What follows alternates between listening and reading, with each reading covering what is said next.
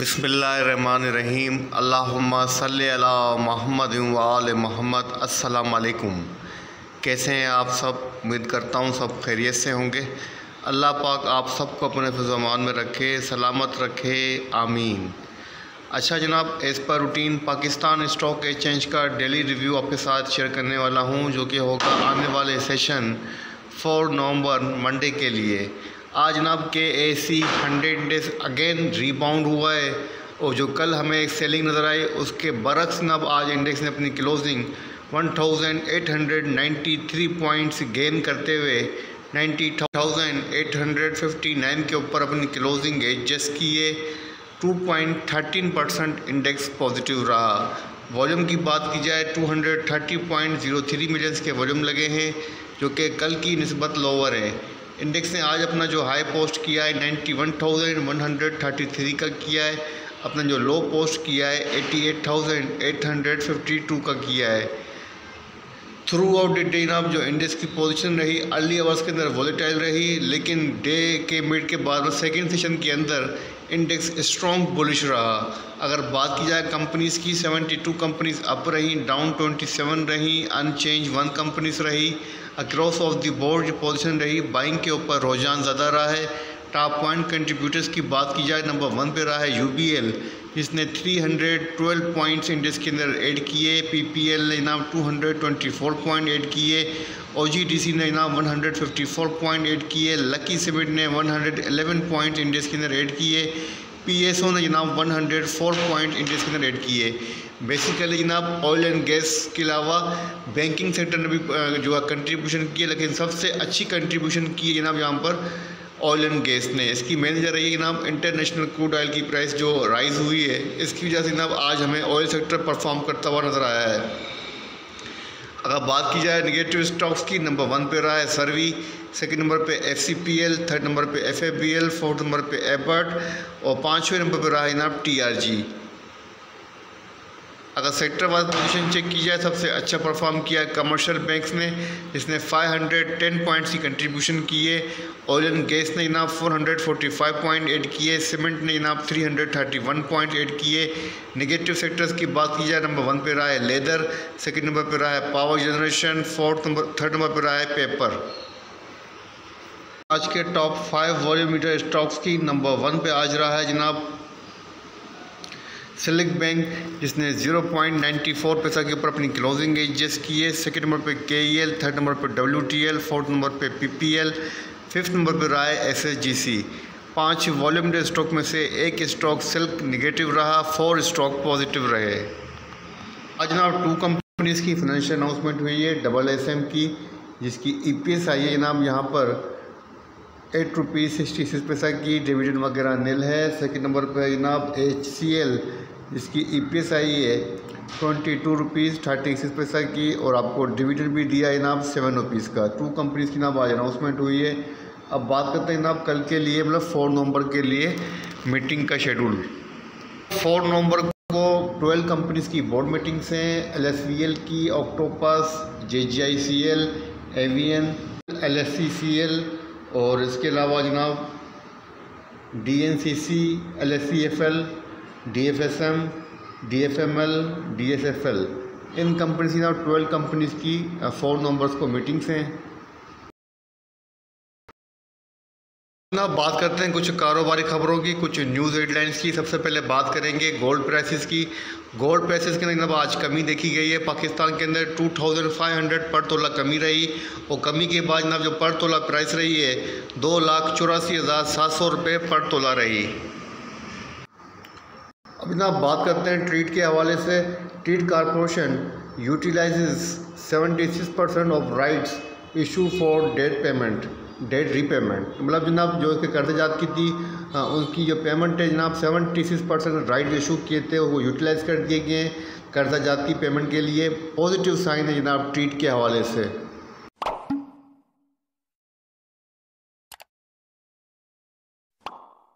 हैं Pakistan stock exchange के technical chart की। तो K A C hundred index का डेली चार्ट आपके सामने। ओपन है आज वंस अगेन जनाब इंडेक्स रिबाउंड हुआ है और कल जनाब और प्रीवियस टू सेशन के अंदर हमें जो सेलिंग देखी गई, उसके बरक्स जनाब इंडेक्स ने आज मूव करते हुए अपनी closing ninety thousand seven hundred को मैनेज करके ninety thousand eight hundred fifty nine के ऊपर अपनी क्लोजिंग एडजस्ट किए। अच्छा जनाब इंडेक्स के बाद अब नेक्स्ट जो रजिस्टेंट बनेगी वो कौन सी बनेगी? वो चेक कर लेते हैं। अच्छा जनाब आपके सामने K A C hundred index का ओवरली चार्ट मौजूद है। ओवरली चार्ट के जनाब, कल आपको मैंने कहा था कि इंडेक्स अपना प्रीवियस स्विंग हाई ब्रेक नहीं कर पा रहा है, एक नया लो पोस्ट करता हुआ नज़र आ रहा है। लेकिन आज इंडेक्स ने ब्रेकआउट दिया है, अपने प्रीवियस स्विंग हाई को ब्रेक किया है, जो कि जनाब लेवल बनता है नाइन्टी थाउज़ेंड सेवन हंड्रेड का। इसके अबाव अपनी क्लोजिंग एडजस्ट किए अब जनाब इंडेक्स के पास जो शॉर्ट टर्म की रेजिस्टेंस है, वो ninety one thousand zero fifty four की है, और second resistance ninety one thousand three hundred fifty eight की बनेगी। और अगर throughout day of index की पोजीशन देखी जाए तो काफ़ी अच्छी और बेहतर लग रही है। तकरीबन देखें मतलब सेकंड सेशन की फ्राइडे को तो उसमें आप देख सकते हैं कि जनाब इन थ्री आवर्स के अंदर हमें अच्छी खासी बाइंग नज़र आई है। और विदाउट एनी स्टॉप जनाब इंडेक्स पॉजिटिव रहा है। कोई भी जनाब सिंगल ओवर सेकंड सेशन के अंदर हमें क्लोज होता हुआ नेगेटिव क्लोज होता हुआ नज़र नहीं आया है। जो कि ऊपर से ब्रेकआउट भी दिया है नाइन्टी थाउज़ेंड सेवन हंड्रेड का। तो दोनों चीज़ें जनाब ट्रेंड रिबाउंड को इंडिकेट कर रही हैं। इसका मतलब है फोर्थ नवंबर को मॉनेटरी पॉलिसी की अनाउंसमेंट होनी है, जो कि काफ़ी बड़ी अनाउंसमेंट होगी, जिसके ऊपर सबकी नज़र रहेगी। लेकिन अक्सर देखा गया कि जनाब आफ्टर मार्केट ही जनाब अनाउंसमेंट होती है ड्यूरिंग मार्केट नहीं होती। तो इस वजह से थोड़ी बहुत मार्केट रेंज बाउंड रह सकती है, क्योंकि मार्केट उसका वेट करेगी कि देखेंगे कि क्या पॉलिसी में क्या अनाउंसमेंट होती है, कितना परसेंट बी जो है वो डिक्लाइन दिखा, दिखाती है स्टेट बैंक अगर 200 से अबव होता है तो काफ़ी अच्छा और स्ट्रॉन्ग पॉजिटिव ट्रिगर होगा। लेकिन अगर 100 150 बीपीएस पॉइंट्स जो है वो डिक्लाइन होता है इंटरेस्ट रेट तो मार्केट के लिए न्यूट्रल होगा। हंड्रेड के डेली और आवरली चार्ट के ऊपर पोजीशन देखने के बाद थोड़ी सी वीकली चार्ट के ऊपर भी नज़र डाल लेते हैं। बाकी वीकली आपके साथ कंप्लीट रिव्यू नेक्स्ट वीडियो के अंदर करूँगा, अगर टाइम मिला तो। लेकिन फ़िलहाल वीकली चार्ट के ऊपर आपके साथ पोजीशन शेयर कर देता हूँ क्लोजिंग आपके साथ शेयर कर देता हूँ। वीकली चार्ट के ऊपर जनाब जो कैंडलस्टिक बनी है, वो आपके सामने है जनाब बुलिश दोजी कैंडलस्टिक बनी है। लेकिन दोजी कैंडलस्टिक की जनाब जो साइकोलॉजी है, वो वीकनेस को इंडिकेट कर रही है। अगर मैं साइकोलॉजी आपके साथ डिफाइन नहीं भी करूँ, तब भी जनाब आप कैंडलस्टिक की बॉडी उसकी साइज़ उसके शेप को देख कर समझ सकते हैं कि प्रीवियस वीक के अंदर जो बाइंग हुई है, उसका साइज़ आपको जो इंडिकेट कर रहा है, ये आपके सामने वीकली चार्ट के ऊपर जनाब जो कैंडलस्टिक बनी है। थोड़ा सा जनाब न्यू कमर जो होते हैं, उनके लिए भी पोजीशन आपके सामने शेयर कर दूँ ताकि आपको थोड़ी पोजीशन क्लियर हो जाए।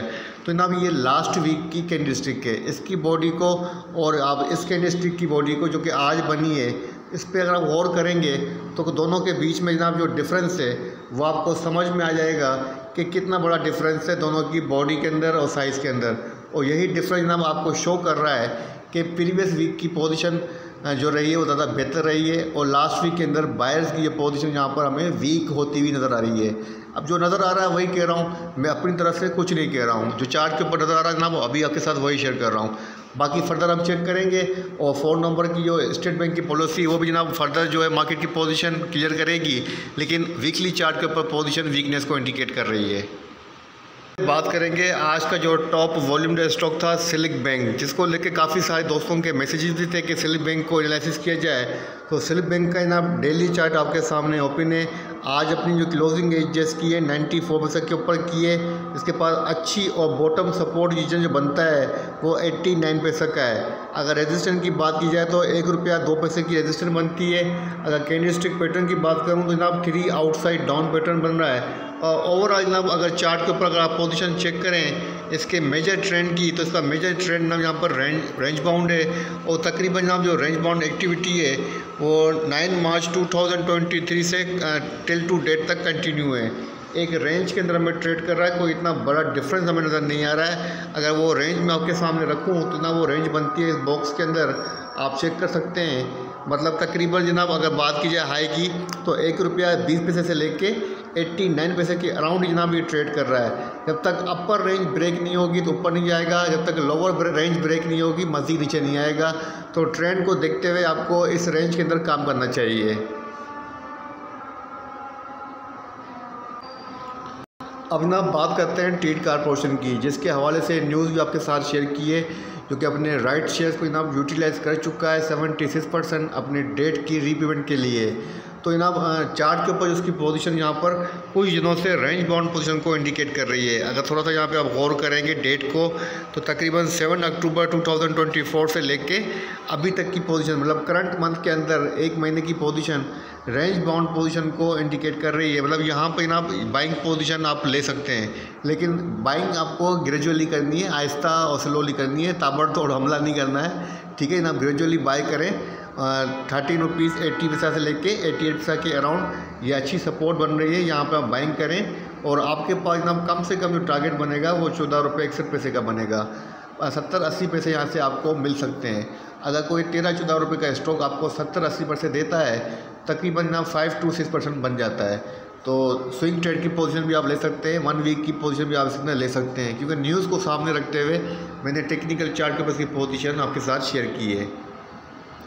उम्मीद करता हूँ ना इस वीडियो से आपको फ़ायदा पहुँचेगा और ये वीडियो आपके आने वाले सेशन फोर नवंबर मंडे को आपको काम आएगी। इसी के साथ इजाज़त दीजिए, दुआ में देखिएगा अल्लाह हाफिज़।